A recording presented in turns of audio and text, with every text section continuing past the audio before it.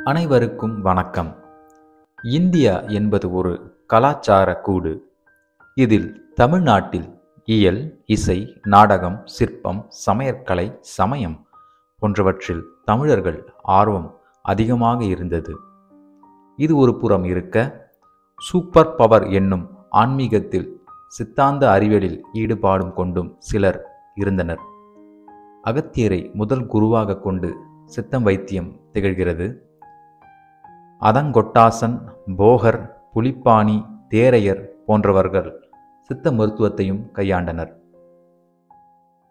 உலோகங்களை பஸ்பமாக்கி மருந்தாக்கும் கலை சித்த மருத்துவத்தில் மட்டுமே உண்டு.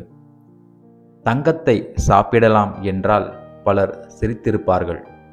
தங்க பஸ்பம் என்ற ஒன்று இருக்கின்றது என்று இன்று வரைக்கும் பலருக்கு தெரியாது. நோயாளி பேசுவதற்கு முன்பே சித்த மருத்துவத்தில் நாடியை பார்த்து நோய்களை சொன்னார்கள். இதன் மூலம் சித்த மருத்துவம் உடலுக்கு அப்பாற்பட்ட நாடிகளை பற்றிய ஞானத்தை கொண்டு செயல்படுகிறது.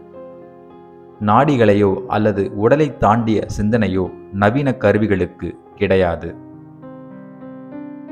சித்த மருத்துவம் ஆன்மீகத்துடன் தொடர்பில் இருப்பதால் இதனை வணிகமயமாக்கும் எண்ணம் பலரின் எண்ணமாகவே இல்லை. ஆன்மீக சிந்தனைகளை பொதுமக்களிடம் சொல்லக்கூடாது என்ற எண்ணமும் நடைமுறையில் இருப்பதுதான். அலோபதி சிகிச்சை பிரயோஜனம் இல்லாமல் போன பின்பு பல பாதிப்புகளுடன் உள்ள உடலை சித்த மருத்துவரிடம் வந்து குணப்படுத்தி காட்டு என்பது போன்ற மக்கள் வருவதும் பணம் ஏதும் வாங்காமல் அவர்கள் மருந்து தர வேண்டும் போன்ற சிந்தனையும் சித்த மருத்துவத்தை வளர்ச்சி பாதையில் கொண்டு செல்ல மறுக்கிறது. எனவே சித்த மருத்துவத்தை வாழ்வியலாக வீட்டு மருத்துவமாகத்தான் மக்கள் பயன்படுத்தும் நிலையில் உள்ளது.